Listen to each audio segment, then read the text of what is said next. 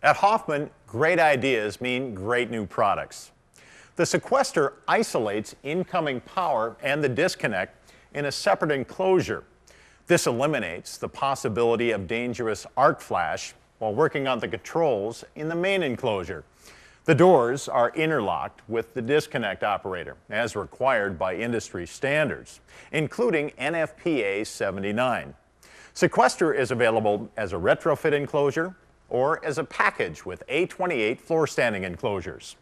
Get the details in the Hoffman Specifiers Guide, hoffmanonline.com, or contact your local Hoffman sales office.